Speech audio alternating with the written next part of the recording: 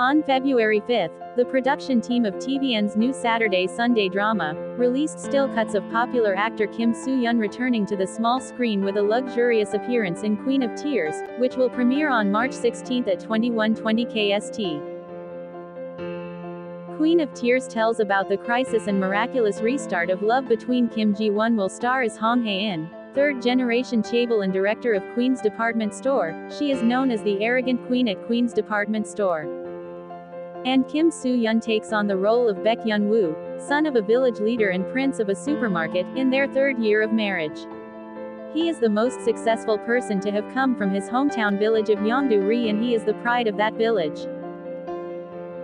Baek Hyun-woo, who seems to have everything, from skills to visuals and a beautiful wife, is actually hiding a secret deep inside his heart that he can't tell anyone.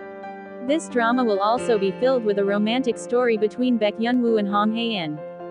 The news of their marriage certainly shocked the public and many people didn't like it, including he has a hard time because of his in-laws. This marriage also had to undergo a long journey. So how did Baek Hyun-woo overcome it and continue his happy marriage? Known for his ability to express various emotions, the story of Queen of Tears is expected to be portrayed more beautifully with Kim Soo-hyun's energy.